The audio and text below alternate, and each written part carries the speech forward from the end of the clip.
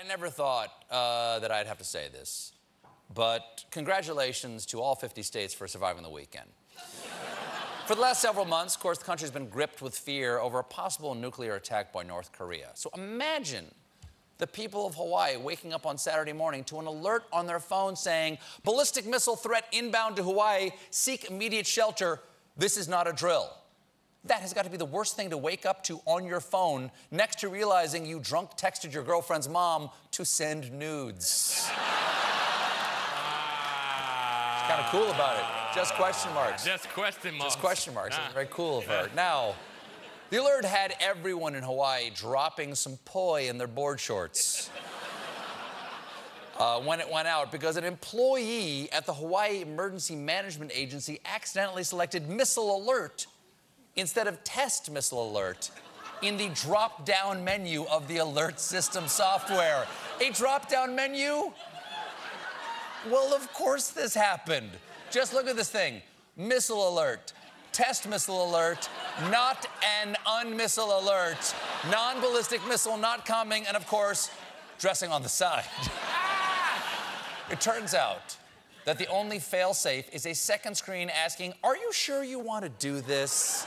Honestly, that message should just pop up every time you open the internet. Are you sure you want to do this?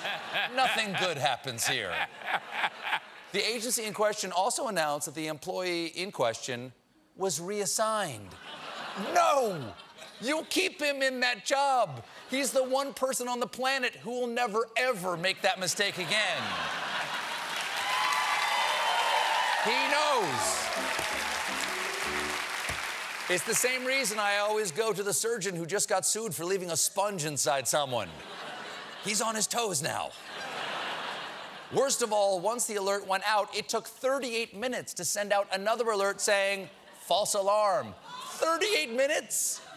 That's enough time to have end of the world sex, then await death for 35 minutes. So, uh. Uh. Do you think there's a heaven? Uh... According to officials, the reason it took so long to correct this mistake is because the state had no automated process to get the word out that it was a false alarm. Well, why don't you just press the button that says, This is just a drill? Go on TV.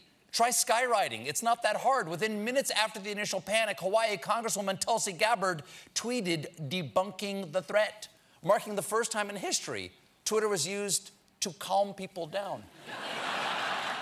Do you know who's weirdly silent about this on Twitter? Who is that? Donald Trump. Mm. And this was made for him. It's literally fake news. yeah! Also, it's the it's actual. Also, also I gotta say, sad. But he finally got around to addressing the situation yesterday. Well, that was a state thing, but we're going to now get involved with them. Which has prompted this message to be blasted around Hawaii. Alert people of Hawaii, Donald Trump wants to get involved. Seek shelter. This is not a drill. We'll be right back. Thanks for watching my YouTube video. Now it's your turn to thank me. Click subscribe, and at the end of the next video, I'll thank you again.